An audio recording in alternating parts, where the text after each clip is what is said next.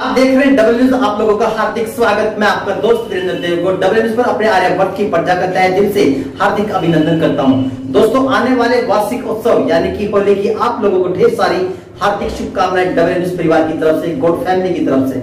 दोस्तों, वार्षिक उत्सव पर, यानी कि होली वार्षिक उत्सव पर आप लोगों से एक छोटी सी अपील। अक्सर आप लोगों ने देखा होगा हमारे गली में, मोहल्ले में, चौक में कुछ मवेशी घूमते हैं। मवेशी मतलब जो जानवर छोटे छोटे कुत्ते, बिल्ली और गाय वगैरह भी पालतू में घूमती हैं दोस्तों। आप लोगों से वार्षिक उत्सव पर एक छोटी सी अपील करने आया हूँ।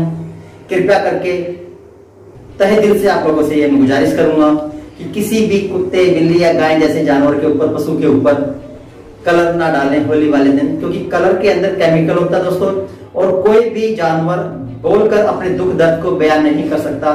हो सकता है वो केमिकल उनके शरीर को नुकसान पहुँचाए, हो सकता है वो केमिकल उनके शरीर को वहाँ से खराब कर दे दोस्तों। इसीलिए डबल एन पर मैं आप लोगों से वार्षिक उत्सव पर हार्दिक शुभकामनाएँ देता हूँ और उसके साथ साथ आप लोगों से अपील करता हूँ, किसी भी कुत्ते, बिल्ली जैसे जानवर और गाय जैसे पशु के ऊपर केमिकल कलर का इस्तेमाल ना करें दोस्तों।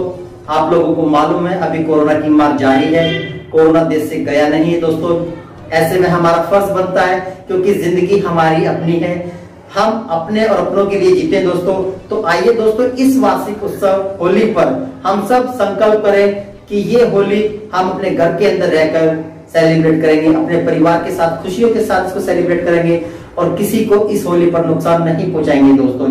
एक बार फिर डब्ल्यू न्यूज़ की तरफ़ से गोड फैमिली की तरफ़ से आप सब लोगों को वार्षिक उत्सव, होली की ढेर सारी हार्दिक शुभकामनाएँ और इन्हीं शुभकामनाओं के साथ दोस्तों, मैं वीरेंद्र देव गोड़ आप लोगों से विदा चाहूँगा।